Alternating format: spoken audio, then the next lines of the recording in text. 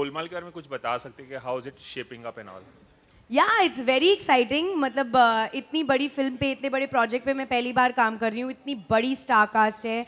Uh, Rohit Shetty खुद इतने बड़े स्टार डायरेक्टर हैं।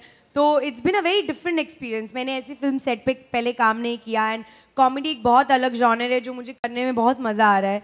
Uh, बहुत अलग फ़िल्म है uh, उनसे जो जि, जिस तरह की फ़िल्में मैंने करी है।